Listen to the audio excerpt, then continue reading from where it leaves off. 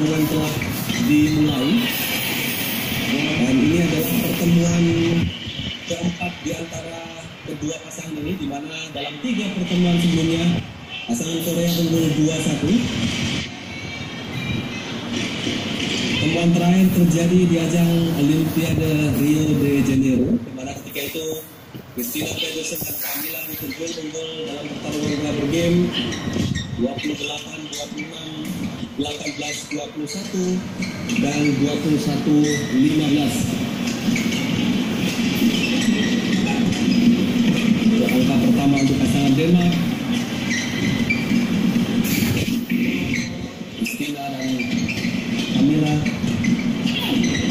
yang masing-masing Camila telah berusia 34 tahun atau memasuki usia 34 tahun sementara Christina 3 tahun lebih muda usia 31 tahun. Yang bisa dibilang tua-tua keladi pemirsa makin tua makin jadi. Dan ya di samping saya kini telah ada Gun Sigit Budianto. Gun Sigit Ya, sekarang. bagaimana dengan penilaian anda mengenai khususnya pasangan Denmark ini yang di usianya tidak lagi muda justru semakin matang semakin semakin sering untuk meraih gelar gelar juara di turnamen bergengsi tentunya Ya, eh, memang salah satu keunggulan di dunia para pemain Eropa ya, Mister yang mereka semakin tua biasanya semakin lebih matang. Ya, berbeda sekali dengan para pemain dari Asia. Ya. apa itu fungsi itu pertanyaannya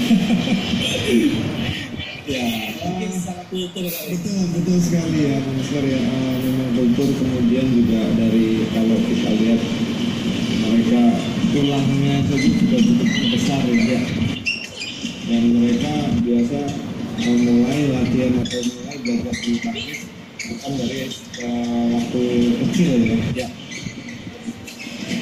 dan memang kebanyakan matang di usia yang relatif Dan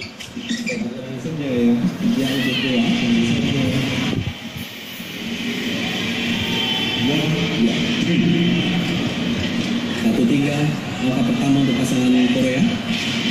Dan di tahun 2017 pasangan Denmark ini pun mampu mengawali musim ini dengan cukup manis. Setelah meraih gelar di ajang Senmodi India Bentley Cup di mana di final mereka mengalahkan pasangan tuan rumah Aswini Ponapa dan Niki Reddy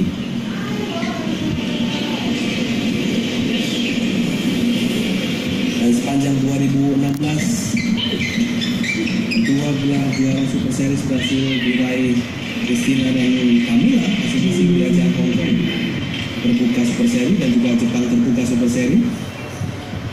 Dan sayangnya di ajang Olimpiade Rio de Janeiro yang merupakan turnamen yang tentunya paling mereka idam-idamkan untuk meraih gelar juara. Mereka harus takut di partai final dan harus puas dengan medali perak. Setelah dikandaskan pasangan putri nomor satu dunia asal Jepang satu Tsutomu Rakaya kata Takahashi oh. Di samping gelar juara Super Series Camila Christina juga meraih gelar juara Eropa musim lalu.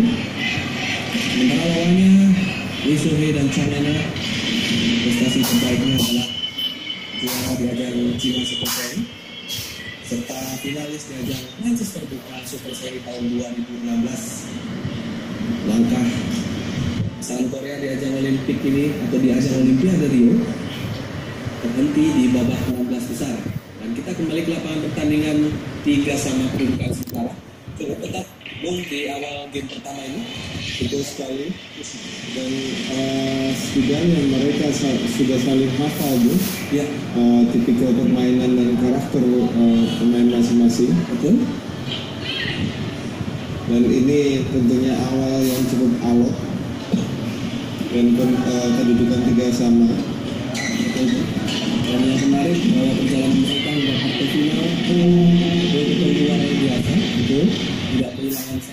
pun betul Kedua pasangan ya bu. ya kedua pasangan saya ini menunjukkan bagaimana kesiapan mereka tentunya menghadapi kejuaraan ini ya.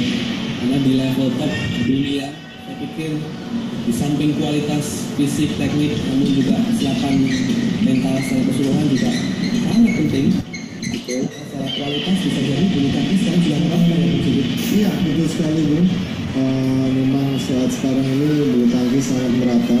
Ya. Di mana negara-negara Eropa sudah banyak sekali yang eh, ber- bermain bertanding. ya. Dan kita lihat Carolina Marin dari Spanyol bisa menjadi juara Itu fenomena